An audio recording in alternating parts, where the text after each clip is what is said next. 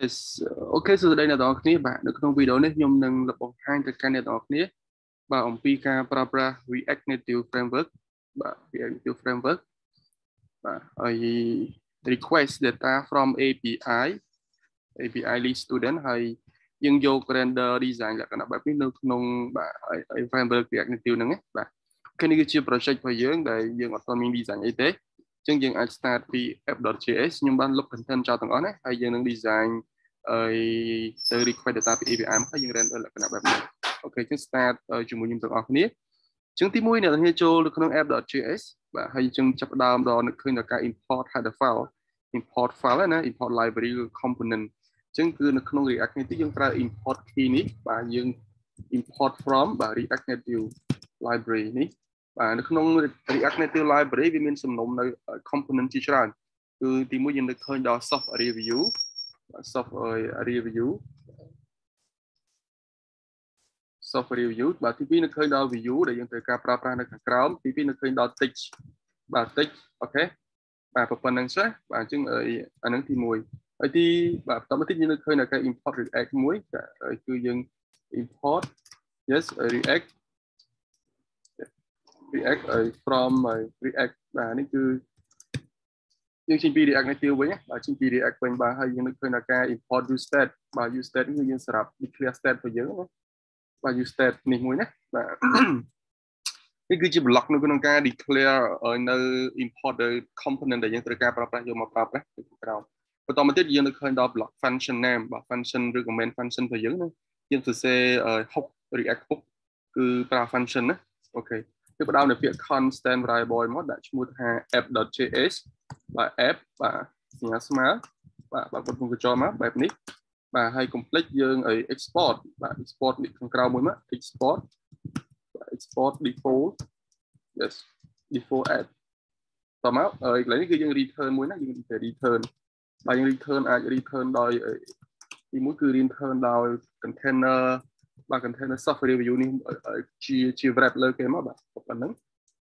អូខេគឺអញ្ចឹង pack របស់យើងគឺដល់ពេលខ្ញុំ save ទៅគឺអត់មានទេគឺ blank មែនទេអញ្ចឹងយើង design ឲ្យជាលក្ខណៈបែបនេះហើយយើងប្រើ API request ទៅកាន់ data ខ្ញុំសូមដាក់ declare ដល់ view មួយទៀតមកបាទហើយគេខ្ញុំសូមដាក់ឲ្យ text មួយមកបាទហើយសាកយើង display text មួយមកបាទ hello yes react native right អូខេយើងនឹងឃើញពាក្យ hello react native ណា បាទអញ្ចឹងយើងចាប់ផ្ដើមឲ្យ implement នៅការ request data ពី API មកអញ្ចឹងយើងនៅឃើញដល់ use effect យើងមួយបាទ use effect បាទអញ្ចឹង use effect យើងត្រូវ import ចេញពីខាងលើដែរណា use effect នេះបាទ use effect គឺយើងប្រើសម្រាប់នៅពេលដែលឲ្យវាបាទវា load form មកដំបូងយើងឲ្យវា call ໄວហ្នឹងគឺយើងប្រើ use effect ហ្នឹងបាទយើងដាក់សញ្ញាឲ្យ empty array បែបនេះមកបាទ we call only one time អូខេ we call ម្ដងនៅពេលដែលវាមកដល់ form ហ្នឹងអញ្ចឹងយើង call function មួយឈ្មោះថា get yes get list student get list student នេះគឺជាការ call function ទីខ្ញុំត្រូវ declare function នៅក្រោមហ្នឹងណាបាទយើងយើងប្រយើងប្រកាស function អីបាទប្រកាស function គេហៅថាបាទ arrow function ណាបាទគឺ student list list student បាទមកទេមកបាទបាទហ្នឹងគឺបែបហ្នឹងបន្តមកទៀតគឺយើងត្រូវ request data ពី API បាទពី API អញ្ចឹងយើងប្រើ fetch fetch function បាទទីមួយគឺយើងត្រូវមាន API បាទទីពីរយើងកន្លែងគឺយើងដាក់ឲ្យ option ហើយបន្តមកទៀតវាត្រូវមានឲ្យបាទ option ហ្នឹងយើងត្រូវមាន method បាទ method គេ method method គឺមាន method get design API គឺ method get បាទបន្តមកទៀតគឺបាទ header header បាទ header យើងដាក់ content type JSON មកបាទ content content on con yes content yes content type ជាងខាងក្រៅគឺយើង define JSON ណា JSON application /json application JSON yes បន្តមកទៀតគឺវា return នៅ den function មួយហើយយើងត្រូវ return array នេះមួយឲ្យទៅជា JSON ណា return array.json តែបន្តមកទៀតបានយើងឲ្យ access នៅ function den នឹងទៀតមកដើម្បីយើងបាន data នឹងមកបាទពីក្រោយទៅ convert ហើយអូខេហើយវានឹងបានប្រកាសបាន data មួយមក ស្មើនឹង res dot list student yes list student ជា list student នេះគឺជា key ដែលបោះមកពី API ណាបន្តមកទៀតយើងអាច define នៅ catch catch ហើយយើងអាចសរសេរបានករណីវាមាន exception កន្លែងណាមួយណា API មកគឺយើងអាចត្រងយកបានយើង console.log មកបាទហើយ catch error ហ្នឹងណា error error ប៉ុណ្្នឹងណាអូខេឥឡូវយើងចាប់ផ្ដើម fix API ណា ជាងយើងត្រូវដឹងអំពីការ request data ពី API យើងមាន API មួយឈ្មោះថា API get list student បាទ API ហ្នឹងមានឈ្មោះថាបែបណាណាខ្ញុំចូលកន្លែង node នេះមកខ្ញុំមាន list student នេះមួយអូខេ list គឺជា list បាទ list student បាទគឺមាន http បាទ nit.cleverapp.io app student ណានេះគឺជា API របស់ខ្ញុំហើយហើយវាមានប្រភេទដែលជា method get ណា method get ហើយវាអត់មាន parameter ទេយើងចុច send request ទៅវានឹង respond នៅ list student ហើយយើង អូខេនេះគឺជា list ដែលវា respond មកណាគឺមាន object key list student នឹងមួយណាដែលមានអីគេបាទមាន first name last name student id telephone gender អញ្ចឹងណា description អូខេនេះគឺជា object ដែលវា respond មកណាបាទគឺជា JSON object អញ្ចឹងហើយនឹងបានខ្ញុំយកកន្លែងនេះយើងយកមកដាក់អីគេយើងយកមកដាក់ res.list to student បាន data មកបាន data មកខ្ញុំត្រូវប្រកាស statement នេះបាទខ្ញុំត្រូវ declare state មួយទៀតបាទ con ហើយខ្ញុំដាក់ថា list អញ្ចឹងមកបាទ set អីគេ set list បាទ equal បាទ use state បាទ use state គឺយើង define ឲ្យ initial គឺវាគឺ by default គឺវាស្មើនឹង empty array ហើយអានេះគឺមានន័យថាគឺអ្នក set ធ្វើឲ្យ list ហ្នឹងណាអញ្ចឹងយើងដំបូងគឺ list នេះស្មើនឹង array ទៅទេដល់ពេលដែល get បានយើងឲ្យ set list ហ្នឹងមកបាទស្មើនឹង data នេះមកអញ្ចឹងធ្វើឲ្យ list ហ្នឹងគឺវាមានវាមានត្រឹមណាយើងអញ្ចឹងយក list យកមក render យកមក render render នៅណាណា render នៅណាគឺយើងអាច render នៅណាយើងអាច render នៅនៅខាងនេះបានណាគឺដាក់ក្នុង view ទៀតមកបាទដាក់ក្នុង view មួយទៀតមក បន្តមកទៀតគឺខ្ញុំសរសេរគេហៅថា rendering rendering ខ្ញុំប្រើ link ហ្នឹង .map function បាទយើងមាន item parameter ទី1ហើយគឺ index បាទហើយហើយយើង return ចេះមកបាទហើយយើង define នៅ container view មួយបាទ container view មួយយើងបិទ view វិញណាបាទប៉ុណ្ណេះបន្តមកចាប់ដើមដាក់ឲ្យតន័យយើងចូលណាបាទទី1គឺយើងដាក់ view មួយទៀតមក បាទ view នេះគឺខ្ញុំសូមដាក់សម្រាប់ដាក់លើរូបភាពហើយមួយទៀតគឺ view មួយទៀតគឺ view សម្រាប់ដាក់លើ information ហើយព័ត៌មានរបស់យើងអូខេបាទប៉ុណ្ណេះមកហ្នឹងហើយ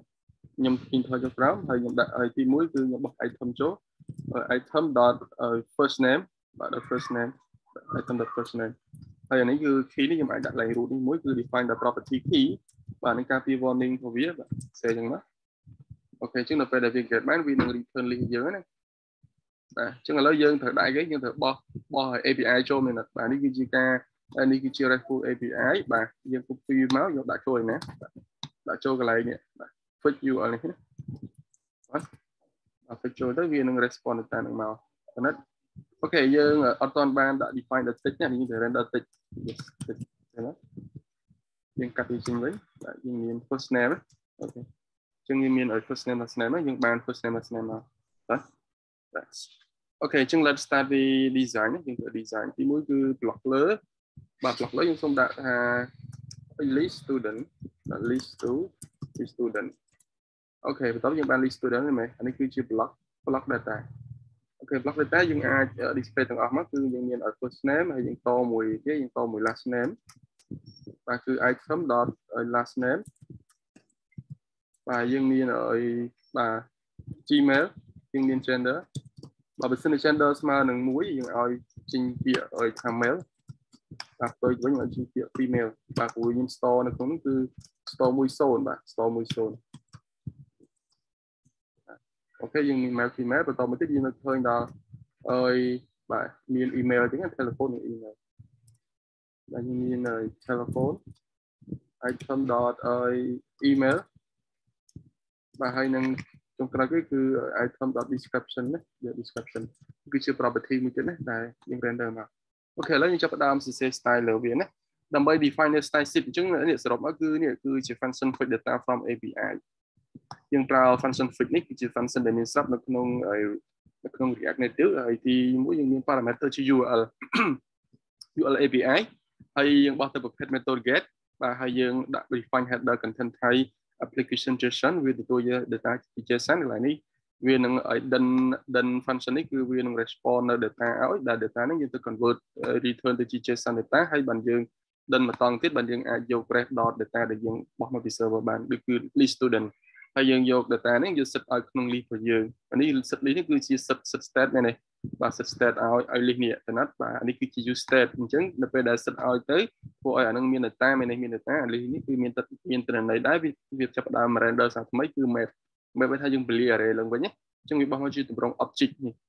object ណា object ទី1 object ទី2អញ្ចឹងមកដល់ពេលបោះ object យើង render មកយក item បាទវាមានទី1គឺតំណាងឲ្យ item ទី2គឺតំណាងឲ្យ index បាទ item នេះគឺជាបោះមកកញ្ចប់ដើម្បី access យក first name មានទៅ dot item dot first name dot last name dot gender អញ្ចឹងណាប៉ុន្តែកន្លែង index នេះគឺបើន័យថាយើងដាក់ property key មួយនៅលើ root ទោះបី element ណាក៏ដោយគឺយើងយើងយើងនៅកាលណា rendering យើងទៅដាក់ property key មួយហើយដាក់ define នៅ unique អីមួយដែលវា render ទៅឲ្យវា bonding បាទអូខេប៉ុណ្ណឹងតោះអញ្ចឹងចំណុចបន្ទាប់គឺគឺតកតងជាមួយនឹងការ render style ណាយើងត្រូវស្គាល់ style sheet នេះមួយ style style sheet បាទអញ្ចឹងយើងត្រូវ import style sheet នោះមួយចេញពី React Native ដើម្បីយើងបង្កើត style យើងអាច declare នៅខាងក្រោយនេះមកដល់បង្កើត con style មាន s នេះមកអានេះគឺយើងនិយាយ function ហ្នឹងដែលយកឲ្យ style sheet.create អានេះគឺជាការ create style នៅក្នុង React Native តមកទៀតយើងដាក់ class ឲ្យ style របស់យើងនៅថាយើងដាក់ឲ្យ tt ឲ្យ tt គេបាទ tt ឲ្យ header អញ្ចឹងមកឧទាហរណ៍បាទស្មើគេហើយគេទៀតយើងមាន បាទ tt header យើងមាន item item list តើបាទយើងមាន item list យើងមានឲ្យបាទឲ្យ tt tt name ចឹងមក tt name yes ប៉ុណ្ណឹងស្នេះណាអឺយើងមានកន្លែងយើងអាចមាន header container header header bar យេ header bar អូខេ header bar ឥឡូវ tt header យើង define មកទីមួយ font size yes font size យក18 pixel មកយក18ទៅប៉ុណ្ណឹងមកហើយឲ្យ font width yes font width ឲ្យស្មើនឹង bold ចឹងមកបាទបន្តមកទៀតឲ្យបាទនេះគឺបាណាបាទអញ្ចឹងបារបស់យើងគឺយើងធ្វើមិនអានេះអញ្ចឹងឥឡូវនេះគឺឲ្យបាទរបស់យើងគឺបាលើណាឥឡូវយើងនឹកដល់ item mission item វាដាក់ heading vertical heading vertical យើងដាក់ឲ្យ15 pixel មក15 pixel បាទយើងមាន border bottom color បាទគឺយើងដាក់ពណ៌ color ខាងក្រោមគឺពណ៌រៀងហើយបាទ E2 ដុល្លារ E2 E2 បាទដល់មួយត្រង់ជ្រុក E2 E2 E2 ជាងបាទពណ៌រៀងរៀងស្រាលណាតែមួយទៀតយើង define ឲ្យ border bottom width បាទតើយើងដាក់ width ទៀតដល់វានេះ border bottom width border bottom width នេះតើណា yes យើងដាក់0.5មកអញ្ចឹងយើងខលខ្លះហ្នឹងមែនទេយើងខលខ្លះហ្នឹងមកឥឡូវយើងចូលដាក់ឲ្យលើ item នេះ បាទយើង set ជា style ហើយ style ស្មើ style dot style មាន s ណាបាទ dot ហើយ item list អញ្ចឹងយើងមាននេះ list មកបាទបាទ item list អយើងមាន tt header ណានេះយើង style មក style បាទស្មើហើយ style yes dot tt header អញ្ចឹងយើងមាន style header ហ្នឹងណាឥឡូវនេះយើងអាចដាក់ container មួយមក container គឺយើងអាចដាក់ឲ្យបាទ content container container ធំជាងគេណា បាទទីមួយគឺយើង define នៅ padding អា padding យើងយកទាំងអស់ padding ប្រហែលទាំងអស់បាទ padding ស្មើនឹង20អញ្ចឹង20អញ្ចឹងហើយយើង copy style នឹងមកដាក់មកបាទអញ្ចឹង style កន្លែងឲ្យ software view នេះណាបាទ style បាទស្មើហើយ style yes dot ហើយ container ណា container អញ្ចឹងវានឹងទទួលបាននៅ padding ណាបាទ padding បាទ padding 20អញ្ចឹងអានេះគឺ software view ណាយើងចង់ដាក់ style វាតែយើងដាក់នៅក្នុង block នេះ អញ្ចឹងយើងដាក់ឲ្យនេះមួយទៀតមកយើងដាក់ឲ្យ scroll view មួយទៀតហើយនេះ scroll view បាទ container sorry គឺ scroll បាទ scroll view នេះណាអូខេហើយយើងដាក់ style លើ scroll view វិញចាំមកហើយយើងរឹងនេះចូលក្នុងនោះ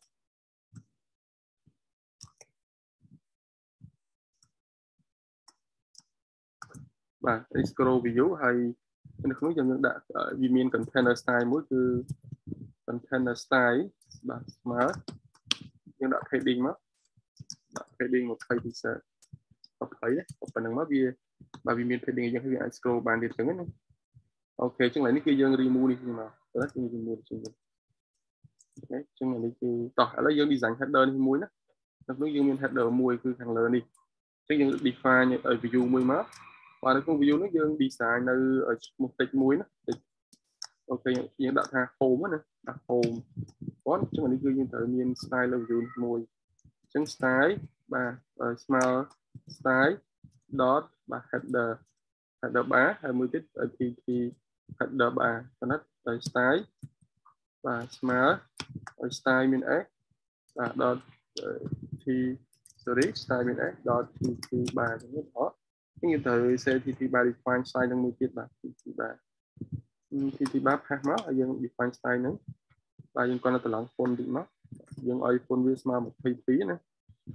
អូខេ22 header bar នេះយើងឲ្យដាក់ background color មកបាទ background color យកពណ៌ពណ៌រៀង E1 E1 E1 បាទហើយយើងមាន padding យកមក padding ខ្ញុំយក20ដែរចឹងណាបាទ20 pixel pixel គេចឹងខ្ញុំបាន header bar ខាងលើណាបាទ header bar ខ្ញុំចង់ដាក់ padding អាកែមលើនេះឲ្យវាស្មើពណ៌ដូចគ្នាតែមួយណាយើងទៅធ្វើម៉េចបាទពណ៌ដូចគ្នាទៅតែមួយទៅម៉េចពណ៌ដូចគ្នាទៅមុខតែនេះណាគឺយើង define នៅបាទ container style គឺដូចគ្នាបាទ container style នេះគឺពណ៌ដូចគ្នាOK internal style គឺពណ៌វាទៅទាំងអស់ណាមែនទេទៅទាំងអស់ប៉ុន្តែកន្លែងនេះយើងត្រូវ root នេះយើងត្រូវដាក់ background color គេមួយទៀតដែរ background color ហើយយើងយកពណ៌សវិញមកបាទ អញ្ចឹងវាជានេះពណ៌សឥឡូវគឺពណ៌មួយមួយណា OKបាទបាទ OKគឺបែបនេះអញ្ចឹងយើង render list មកបានហើយបាទអត់បន្តមកទៀតកន្លែងនេះគឺយើង design style មួយគឺដាក់ថា style នេះស្មើនឹង style dot box ទៅខាងផ្សារហ្នឹងគឺ icon icon ជារូបភាពណាបាទយើង design style icon មួយមកបាទ icon គឺ icon បាទទី2គឺទី1គឺ font គឺ width បាទគឺ width width យក100 yes ហើយ height យក100ដែរបាទទីតមកទៀតគឺយក border radius យក100តមកទៀតគឺ background color background color យកពណ៌ពណ៌ពណ៌ស្រាលណាហើយអឺ six six six ចឹងណា អូខេយើងបានពណ៌ប៉ុណ្្នឹងណាប៉ុន្តែវាឲ្យអីគេបាទគឺតរន័យគឺវាលិចចុះខាងក្រោម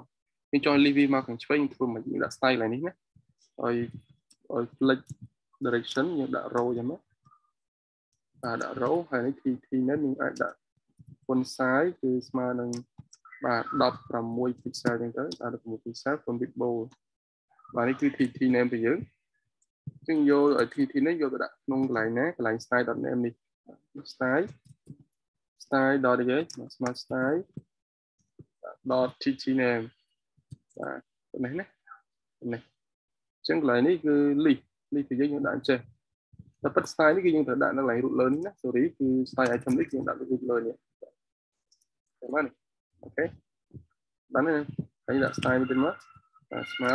ហើយខ្ញុំ heading heading left heading left យកមែនយក15 pixel អូខេអញ្ចឹងយើងបាន list របស់យើងហើយវាវាខុសខុស design មុនតិចតួចណាបាទបាទខ្ញុំចង់បាន name to application ដាក់ dot មក dot to app per application បើខ្ញុំ convert វាទៅជាឲ្យបាទ capital letter ណា to application to app per case បាទ uppercase តែជា CC ខុសណាបាទ uppercase to uppercase បាទអត់អីយើងបាច់ convert វាក៏បានដែរតាប៉ុណ្ណេះគឺយើងប៉ុណ្្នឹងមកមាន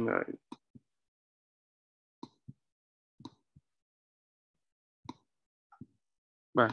តោះនេះអញ្ចឹងយើងបាន list នឹងមកហើយអញ្ចឹងសរុបមកគឺយើងមានការសរសេរទៅនឹងការ request data from API បាទទី1ហើយទី2គឺយើងយក data យកមក render នេះបាទ ហើយយើងចាប់ផ្ដើមសេស្តាយដល់ style គឺយើងបញ្ជាពីណាទៅណាអញ្ចឹងណាអូខេ